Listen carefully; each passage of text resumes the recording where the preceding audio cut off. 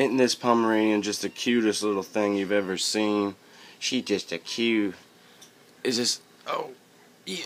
Oh, now I haven't even washed her. trying to get her to stand up for you. She's less than a pound.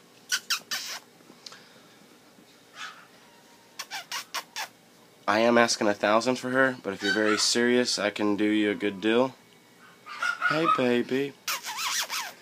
But uh, this is David with Dub's Treasure Store. On behalf of Heavenly Pups, this is just a growing, progressive video blog for my puppies. And uh, if you need me, you can contact me.